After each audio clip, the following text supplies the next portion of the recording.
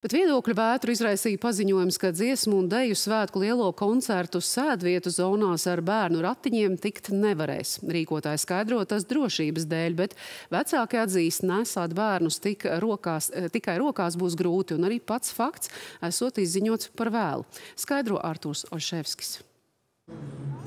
Dziesmu un deju svētku nedēļa jau klāt, biļetes nopirktas, taču daudziem kā pārsteigums nāca ziņa, ka dziesmu un deju svētku lielajos koncertos nevarēs ienākt ar bērnu ratiņiem. Vecāki mums ir par šo ziņojuši, ka nav skaidrs un ka tas ir tiešām apgrūtinoši. Bet galvenais ir, lai, lai saulaicīgi un plaši vecāki tiktu informēti par to, lai nav tā, ka ierodas ar mazu bērnu, ratiņus liek atstāt novietnē, Un, un tu neesi sagatavojies tam, ka ar bērnu būs uh, vēlās vakarstundās ilgstoši, viņš jātur rokās.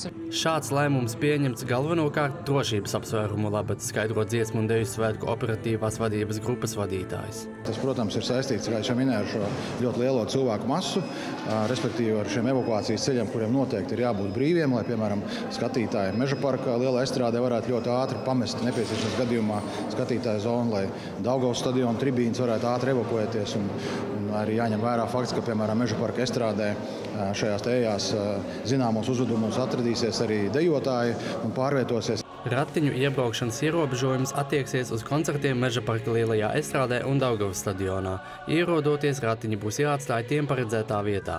Tā tiks apsargāta un būs pieejama pasākuma laikā. Sabiedriskā aktīviste Māja Krastiņa saka, ka ierobežojums zināmā mērā izslēdz ģimenes ar maziem bērniem no šo pasākumu apmeklēšanas.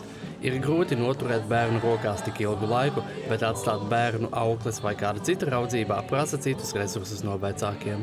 Ir dažādi cilvēki ratiņos, vai tie būtu ratiņkrēsli, vai tie ir bērni ratiņos.